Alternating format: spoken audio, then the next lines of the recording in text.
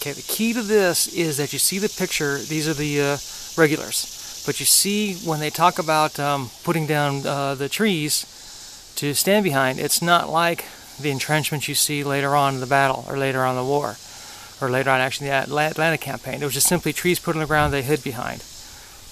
Okay, that was based upon what the time that they had and what the tools that they had.